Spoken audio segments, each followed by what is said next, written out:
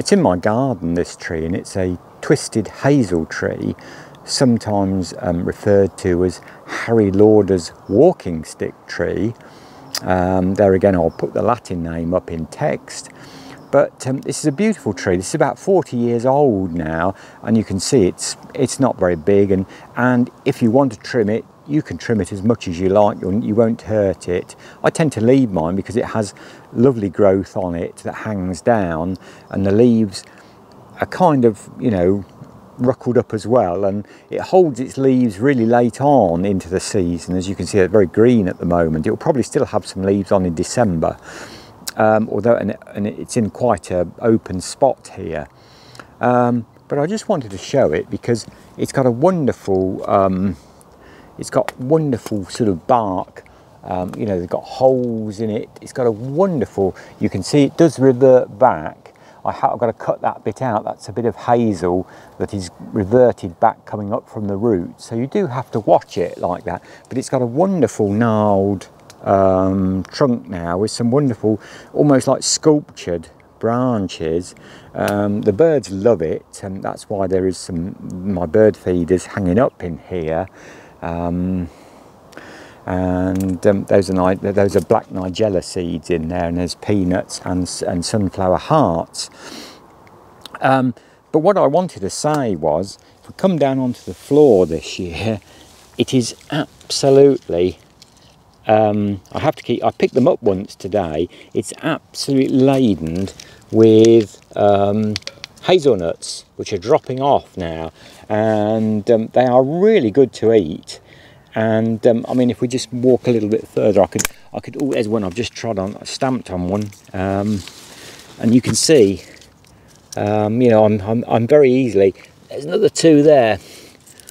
Um, you know it is absolutely laden you know um, uh, I had a very kind comment um, from one of our subscribers to the channel saying about you know what a good nut year it had been where he lives. And um, certainly here this year, I've noticed, although it's been dry, like the um, video I did read the horse chestnut tree, which was laden with conkers, the hedgerows are crammed full still of blackberries, and um, the, nut, the, the and the sloe, there's loads of sloes on the blackthorn on the hedges as well, I noticed, and rose hips and um, as I say, nuts, I've got so many. I don't think this tree, look, there's a, there's a try one, there's, a, there's, there's three together there, three that have just fell in the husks. Um, I don't think I've ever known so many nuts on this tree. Amazing, you know, I've, um, I, I picked up a huge great uh, pot full this morning because I, I, do try and pick them up because um, my friendly squirrel will be back here if I don't sort of um, try and keep picking them up. But I do eat a few of them and they are absolutely lovely to eat. So there we go, that's the twisted hazel and uh, what a crop of nuts this year. You can see I've got a pesky, can you see that mound of soil? Um, that's a field vole that comes from the meadows. Um, they come rootling about.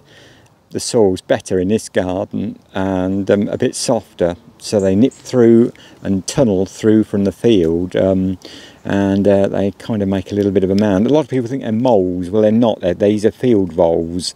Um, they're lovely little things, a little bit like a, um, a dormouse in looks, but um, very small and very cute and very sandy um, in colour. Um, so I shall have to clean that up.